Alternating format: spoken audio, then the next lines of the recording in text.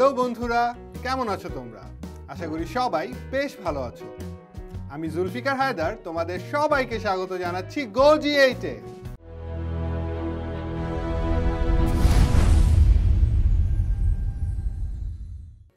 বন্ধুরা, আজকে আমরা নবম ও দশম শ্রেণির উচ্চতর গণিতের পঞ্চম অধ্যায়, অর্থাৎ সমীকরণ থেকে কীভাবে এক চলক বিশিষ্ট দ্বিঘাত সমীকরণের সমাধান করতে হয় সে সম্পর্কিত কিছু গাণিতিক সমস্যা সমাধান করব। তাহলে চলো দেরি না করে শুরু করে দেই আমাদের আজকের এপিসোডটি বন্ধুরা, তোমরা তোমাদের স্ক্রিনে একটি সৃজনশীল প্রশ্ন দেখতে পাচ্ছ। আমাদের এই প্রশ্নে বলা আছে two X plus one whole square minus two into X minus two minus five equals to zero এবং X square minus ten X plus twenty one equals to zero দুটি দ্বিঘাত সমীকরণ। আমাদের ক নম্বর প্রশ্নে জানতে চাওয়া হয়েছে যে প্রথম সমীকরণটিকে আমরা A X square plus B X plus C equals to zero আকৃতিতে প্রকাশ করব এবং সেখান থেকে এ বি সি এই তিনটি ধ্রুবকের মান নির্ণয় করতে বলা হয়েছে। খ নম্বর প্রশ্নে আমাদের দুটি সমীকরণের নিশ্চয়কের মান বের করে দেখাতে বলা হয়েছে যে, আমাদের দ্বিতীয় সমীকরণটির নিশ্চয়কের মান প্রথম সমীকরণের নিশ্চয়কের মানের ষোলো গুণ। এবং গ নং প্রশ্নে আমাদের দুটি সমীকরণের নিশ্চয়ক থেকে আমাদের সমীকরণের মূলের প্রকৃতি বিশ্লেষণ করতে বলা হয়েছে এবং মূলগুলোকে বের করতে বলা হয়েছে। তাহলে আমরা যদি ক নং প্রশ্নের সমাধানে আসি আমাদের কতে প্রথম সমীকরণটিকে A X square plus B X plus C আকারে লিখতে বলা হয়েছে।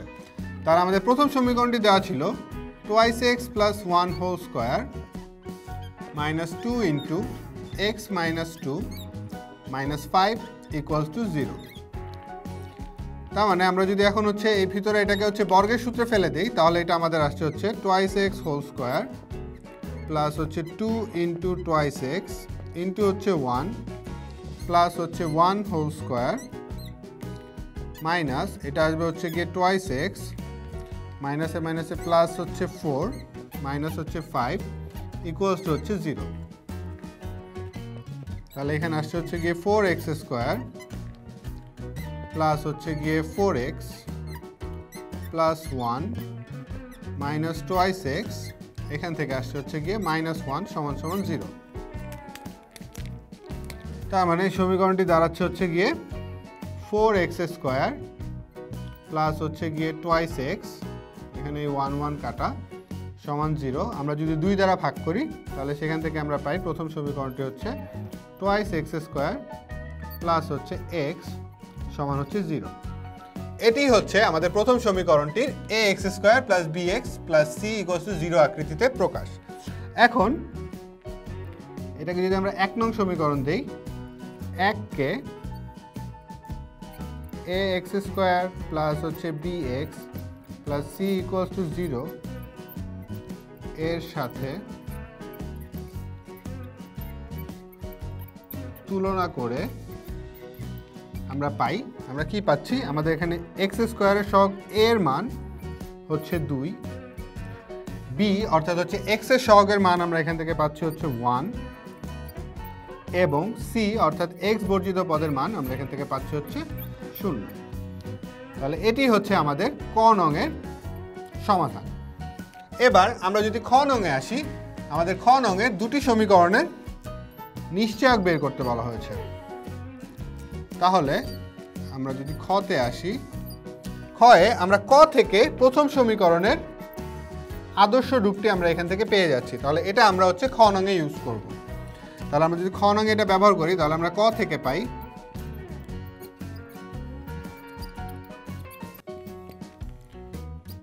প্রথম সমীকরণ। আমাদের প্রথম সমীকরণটি হচ্ছে গিয়ে twice X square plus X সমান হচ্ছে জিরো তাহলে এই প্রথম সমীকরণের নিশ্চয়ক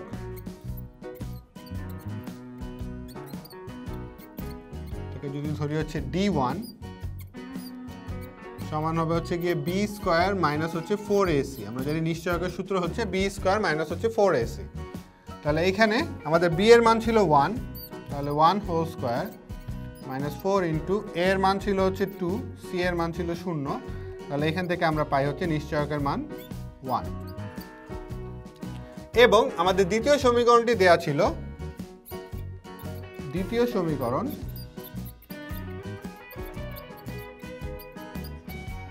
হচ্ছে X square minus ten X plus হচ্ছে টোয়েন্টি ওয়ান সমান হচ্ছে জিরো এটাকে যদি আমরা A X square plus B X plus C equals to জিরোর সাথে সমতা করি, তাহলে সেখান থেকে আমরা বলতে পারি যে এখান থেকে আমরা পাই হচ্ছে গিয়ে এর মান, অর্থাৎ এক্স স্কোয়ারের সহগ হচ্ছে ওয়ান বি অর্থাৎ এক্সের সহগ হচ্ছে আমাদের মাইনাস টেন এবং সি অর্থাৎ হচ্ছে গিয়ে আমাদের ধ্রুবপদ, সেই ধ্রুবপদের মান হচ্ছে টোয়েন্টি ওয়ান তাহলে আমরা এখান থেকে বলতে পারি যে আমাদের দ্বিতীয় সমীকরণের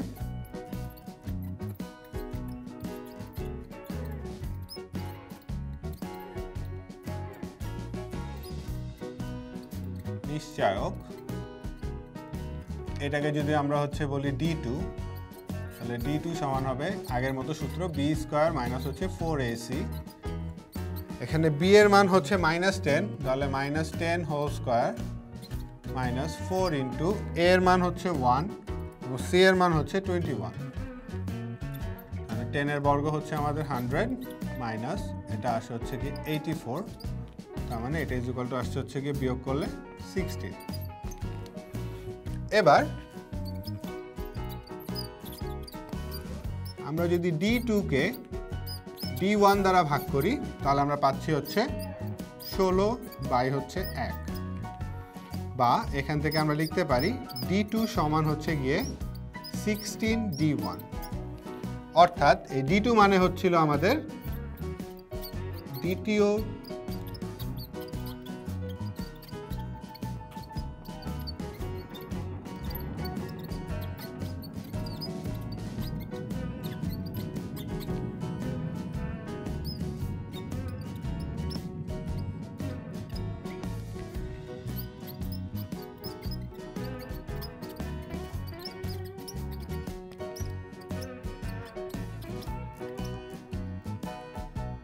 অর্থাৎ এখান থেকে আমরা বলে দিতে পারি যে আমাদের দ্বিতীয় সমীকরণের নিশ্চয়কটি হচ্ছে আমাদের প্রথম সমীকরণের নিশ্চয়কের ষোলো গুণ। আশা করি বন্ধুরা, আমরা এই গাণিতিক সমস্যার ক ও খ নংটি বুঝতে পেরেছি। বন্ধুরা, এতক্ষণ আমরা এই সৃজনশীল গাণিতিক সমস্যার ক ও খ নং সমাধান করলাম। এবার চলো আমরা গ নংটি সমাধান করি। আমাদের গ নংয়ে বলা আছে যে সমীকরণ দুটির নিশ্চয়ক থেকে মূলের প্রকৃতি বিশ্লেষণ করো এবং মূলগুলো নির্ণয় করো। আমরা খ নংয়ে আমরা সমীকরণ দুটির নিশ্চয়কের মান বের করেছিলাম, যেখানে আমাদের প্রথম সমীকরণের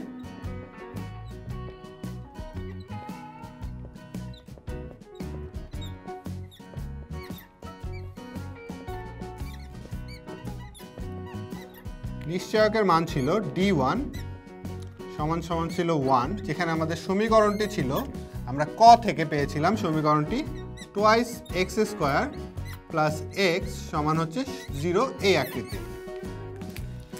এবং দ্বিতীয় সমীকরণে নিশ্চয়কের মান ছিল হচ্ছে গিয়ে ডি টু যেটার মান ছিল হচ্ছে গিয়ে সিক্সটিন এবং আমাদের সমীকরণটি দেওয়া ছিল X square minus ten X plus হচ্ছে টোয়েন্টি ওয়ান সমান হচ্ছে জিরো এবার আমরা যদি দুটি নিশ্চয়ককে দেখি যে আমাদের এই ডি ওয়ানকে ডি ওয়ান সমান হচ্ছে গিয়ে ওয়ান এটাকে আমরা পূর্ণবর্গ আকারে লিখতে পারি। তার মানে আমাদের এই প্রথম সমীকরণের নিশ্চয়ক হচ্ছে একটি পূর্ণ সংখ্যা এবং হচ্ছে এটি গ্রেটার দেন জিরো এবং পূর্ণবর্গ। এবং আমরা জানি কোনো একটি সমীকরণের নিশ্চয়কের মান যদি হচ্ছে গ্রেটার দেন জিরো অর্থাৎ ধনাত্মক পূর্ণ সংখ্যা হয় এবং পূর্ণবর্গ সংখ্যা হয়, তাহলে ওই সমীকরণের মূলগুলো, অর্থাৎ আমরা এখানে বলতে পারি যে প্রথম সমীকরণের মূল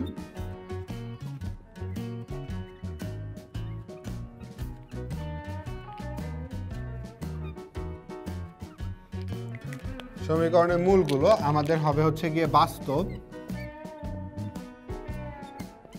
অসমান এবং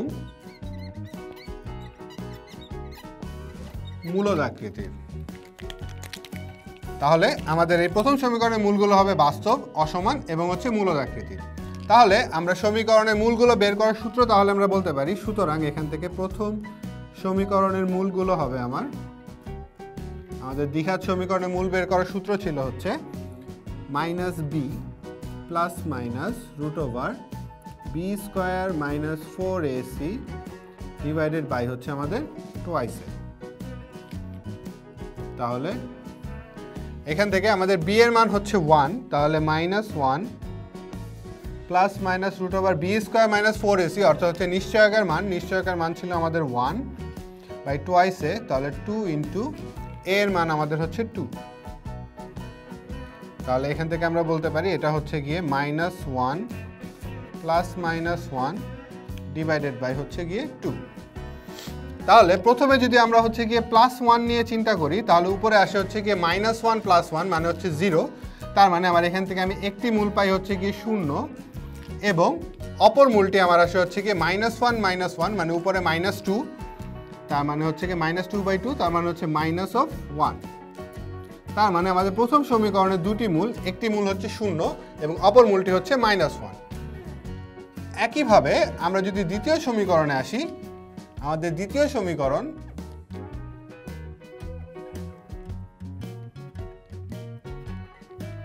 X square minus ten X plus twenty one equals to zero এর নিশ্চায়ক।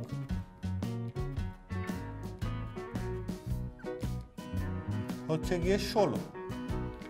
এবং এটাকে আমরা লিখতে পারি হচ্ছে গিয়ে ফোর স্কোয়ার আকারে। তাহলে এই নিশ্চয়কটিও আমাদের হচ্ছে গিয়ে গ্রেটার দেন জিরো এবং একটি পুনর্বর্গ সংখ্যা। তার মানে আমরা একইভাবে বলতে পারি যে আমাদের দ্বিতীয় সমীকরণের মূল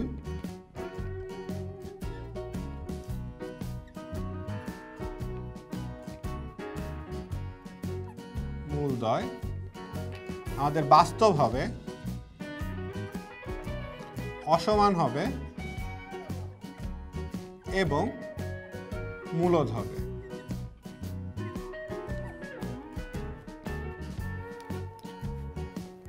তাহলে আমাদের এই দ্বিতীয় সমীকরণের মূলগুলো আমাদের হচ্ছে, আমাদের সূত্র হচ্ছে minus B plus minus root over B square minus four AC divided by হচ্ছে গিয়ে টোয়াইস এ এখানে আমাদের বি এর মান হচ্ছে গিয়ে মাইনাস টেন তাহলে হচ্ছে minus of minus ten plus minus root over B square minus four AC বা নিশ্চয়কের মান নিশ্চয়কের মান ছিল আমাদের সিক্সটিন তাহলে সিক্সটিন বাই টু ইন্টু এর মান আমাদের হচ্ছে ওয়ান তাহলে উপরে আসছে আমাদের হচ্ছে ten plus minus four divided by two অর্থাৎ এটাকে বলা যায় হচ্ছে গিয়ে ten plus four by two comma ten minus four by হচ্ছে টু তার মানে আমাদের দ্বিতীয় সমীকরণের মূলদয় হচ্ছে চোদ্দ বাই টু তার মানে হচ্ছে সেভেন কমা এখানে ছয় বাই টু মানে হচ্ছে থ্রি তার মানে আমাদের দ্বিতীয় যে সমীকরণ ছিল, তার মূলগুলো হচ্ছে সেভেন এবং হচ্ছে অপর মূলটি হচ্ছে থ্রি আশা করি এই গণং অংশের সমাধানকেও তোমরা বুঝতে পেরেছ। বন্ধুরা, আমাদের আজকের এপিসোডটি তাহলে এ পর্যন্তই। দেখা হবে পরবর্তী এপিসোডে এই অধ্যায়ের আরও কিছু গাণিতিক সমস্যার সমাধান নিয়ে। সে পর্যন্ত তোমরা ভালো থেকো।